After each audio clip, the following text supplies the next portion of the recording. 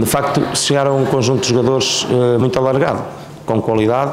Estou muito satisfeito com o plantel que tenho à minha disposição. Lamento, uh, sinceramente, lamento é a falta de tempo para conhecer esses jogadores, para que os meus jogadores conheçam conheçam-se melhor uns aos outros, para ganharmos uh, uma identidade mais própria, mais consistente, e isso uh, vai levar o seu tempo, mas as pessoas também penso que, que têm consciência disso.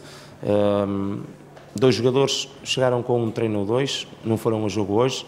Temos mais quatro ou cinco jogadores que têm sensivelmente seis, sete treinos e hoje, inclusive, até foram a jogo. E depois temos mais três ou quatro jogadores que têm 15 treinos, 17 treinos. Quem é de futebol sabe que isto uh, tem o seu, o seu peso, uh, não só, como eu digo, na exigência física que é necessária para um jogo desta intensidade, como também no processo e no, no, no processo coletivo. Obviamente que, que, as minhas ideias vão demorar mais algum tempo, mas, uh, mas tenho a certeza absoluta que iremos fazer uma equipa que vai orgulhar todos o, o, os adeptos do, do Desportivo das Aves.